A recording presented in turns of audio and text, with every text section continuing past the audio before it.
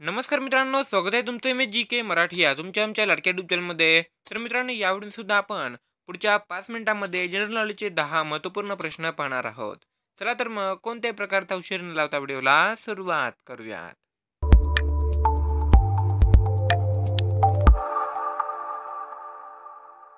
तर मित्रांनो आजचा पहिला प्रश्न आहे महाराष्ट्रातील कोणत्या जिल्ह्याला शूरवीरांचा जिल्हा म्हणतात?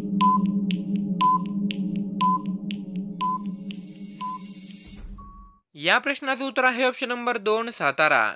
मित्रांनो सातारा या जिल्ह्याला महाराष्ट्रातील शूरवीरांचा जिल्हा म्हणून ओळखले जाते. कारण इतिहासामध्ये सुद्धा या जिल्ह्याची मोठी भूमिका राहिली होती. आणि आता सुद्धा या जिल्ह्यातून खूप सारे मुलं भारतीय सैन्यामध्ये सामील होतात. त्यामुळे या जिल्ह्याला शूरवीरांचा जिल्हा म्हणून ओळखले जाते.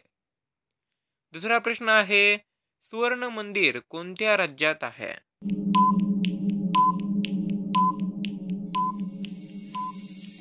या प्रश्नाचं उत्तर आहे ऑप्शन नंबर तीन पंजाब. मित्रांनो सुवर्ण मंदिर म्हणजेच सोन्याचे मंदिर हे पंजाब या राज्यामध्ये आहे.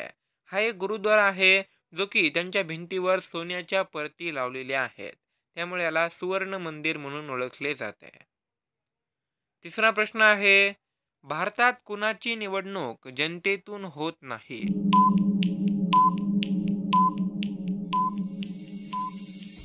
या प्रश्नाचं उत्तर आहे ऑप्शन नंबर चार राष्ट्रपती. मित्रांनो भारतामध्ये राष्ट्रपतीची निवडणूक जनतेमार्फत होत नाही. ज्या पद्धतीने आमदाराची खासदाराची किंवा सरपंचाची निवडणूक होते त्या पद्धतीनं राष्ट्रपतीची निवडणूक होत नाही. चौथा प्रश्न आहे पृथ्वीला निळा ग्रह का म्हणतात?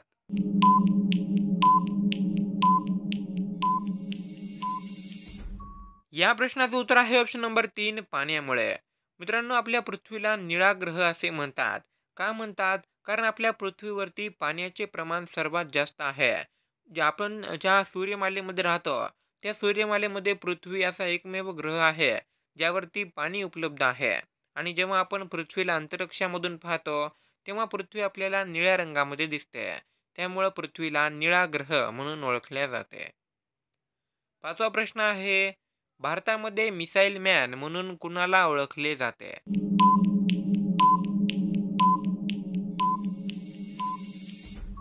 या प्रश्नाचं उत्तर तुम्हाला माहीत असेल. या प्रश्नाचं उत्तर आहे ऑप्शन नंबर एक doctor A P J Abdul Kalam मित्रांनो doctor A P J Abdul Kalam यांना मिसाईल मॅन म्हणून ओळखले जाते. Doctor A P J Abdul Kalam लहानपणी पेपर वाटायचे काम करायचे. आणि जेव्हा ते मोठे झाले तेव्हा त्यांनी भारतासाठी मिसाईलसुद्धा तयार केली आणि ते भारताचे राष्ट्रपती सुद्धा झाले होते. सहावा प्रश्न आहे पृथ्वीवर अंदाजे किती मुंग्या आहेत?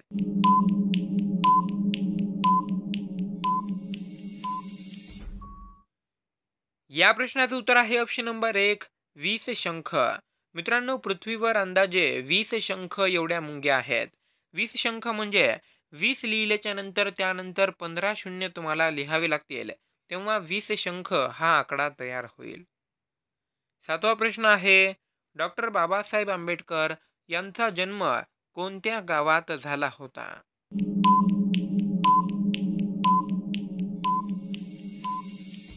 या प्रश्नाचे उत्तर आहे ऑप्शन नंबर दोन महू. मित्रांनो डॉक्टर बाबासाहेब आंबेडकर यांचा जन्म मध्य प्रदेश राज्यातील महू या गावामध्ये झाला होता. आठवा प्रश्न आहे भारतातील कोणत्या राज्यात महिलांची संख्या पुरुषांपेक्षा जास्त आहे?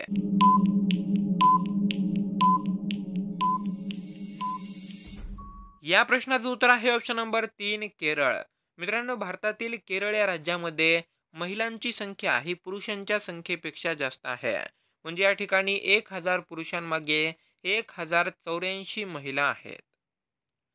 नववा प्रश्न आहे पतंग कोणत्या सणाला उडवतात?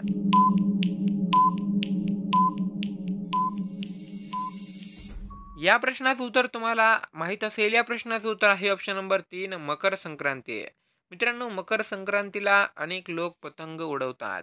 आता वर्षभर पतंग मिळतात पण मुख्य म्हणजे मकर संक्रांतीच्या दिवशी पतंग उडवल्या जाते.